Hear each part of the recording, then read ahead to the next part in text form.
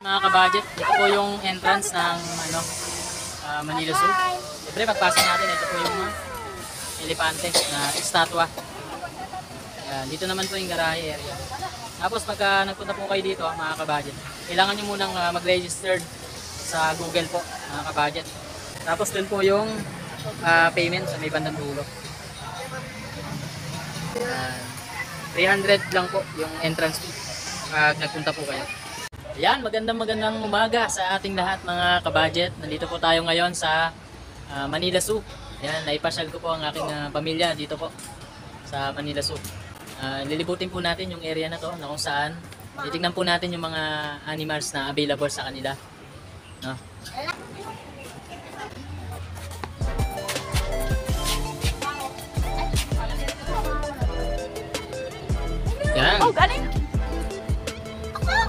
Anak, baka Chestnut. matukatan yan. Hindi yan yun. Silver Macau. Ayan. Mga kabudget. Ito yung... Ito sobrang bihira na rin na nakita natin itong mga ganitong klase ng ibon. Endangered na rin sila. Tapos, tatlong piraso. Hindi naman itong cage na to.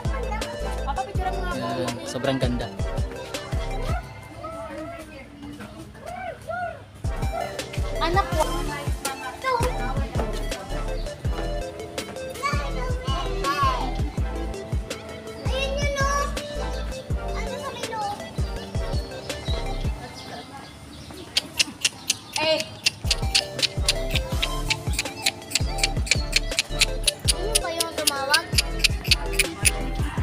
Ayan.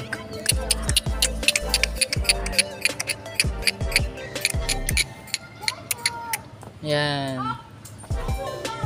Tariktik Hornbill. Ito po yung mga kabudget. Yan, sobrang ganda ng kulay niya. Tapos, combination ng black at saka cream.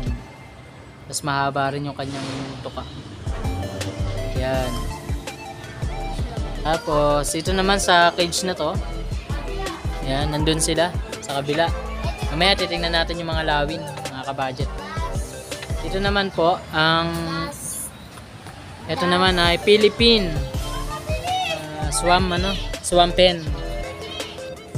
Yan. Tapos dito naman, mga kabudget ay bar mini kite. So, titingnan natin na mas malapitan. ano? Tara, dito tayo. Ay, nakadapo. Ay, nandun, nakadapo. Siguro hindi sila sanay na nakakulong. Pupunta kami, mga kabudget, sa taas para mas malapit na makita. Eh, marami din napasan dito kasi maganda yung ano, location. Eh, lipad siya ng lipad, oh. Grabe. Oh, ganda. Ano? Meron dito. Bilangin mo. Yan. Bilangin nyo. Isa, dalawa, tatlo, apat, lima. Plus yung lumilipad pa, anim. Ito, walo. Mga kabudget. Tapos, ang puno na nilalagay nila dito ay puno ng alateris. Kasi isa rin to sa ano nila, ah, kinakain ng ibon, mga bunga ng alateris. Tapos mayroon pa dito sa may ano, sa may baliti. Ang ang size niya, mga kabudget, yung ano, kasi laki po ng ano, inahing manok. Ano. Ay, 4, 15 lang, Papa. Napakarami nila, 15. 15 siya. Labing lima, mga kabudget. Ito pa, meron pa dito sa likod. Kaya nga, yan nga. Nabilang mo na rin to? Yan. Yan. Ito yun, oh, yung pangalan dyan. Mas okay dito kasi mas malaya sila nakakalipad. May mga punta rin.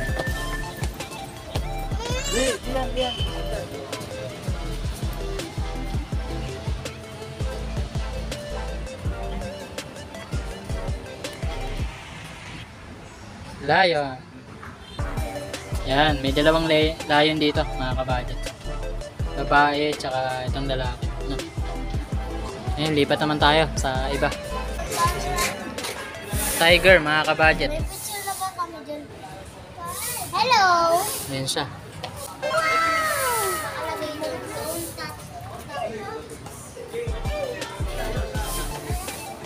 Ayan o. laki ng tiger sa personal mga kabadget. Baka dambayin siya. Okay lang yun, bali. Tambahin lang naman siya. Nakakatakot yun. Yan.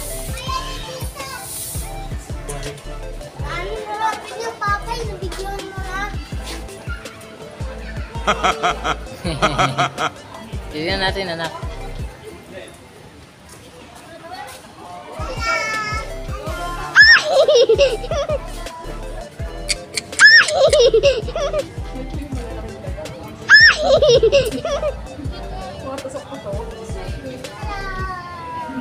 Ah,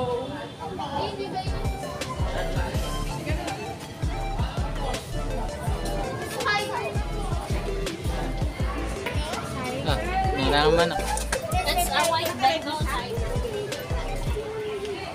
Yan. White Bengal Tiger.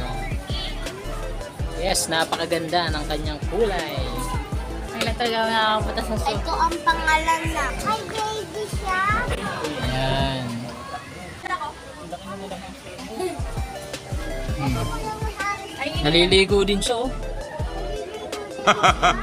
Oh, papa, ah! ah. Liligo ka?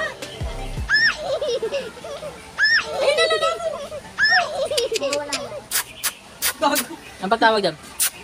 Ano yung aso? Ano nga yun? Oh. Ang tawag dyan ay Peppa Pig. Ay, baboy.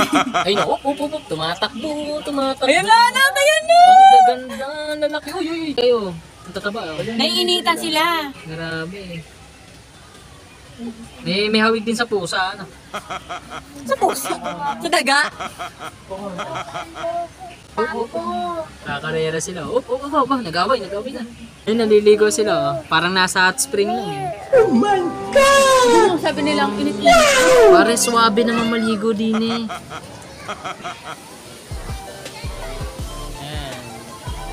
Asian elephant.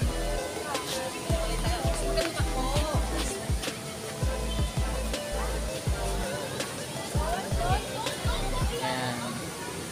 Dito po, ayan, may mga nagdadatingan pa mga kabudget. May mga turista rin. Ayan. Oo, oh, ganyan na Ayan, oh. Daming tao mga kabudget. Tayo?